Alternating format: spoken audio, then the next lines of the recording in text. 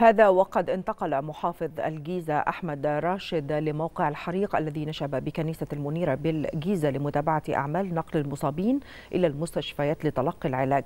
وأكد راشد أن المحافظة بكامل أجهزتها في حالة استنفار للتعامل مع تداعيات الموقف ولتقديم الرعاية الصحية اللازمة للمصابين والاطمئنان عليهم حتى تمام الشفاء.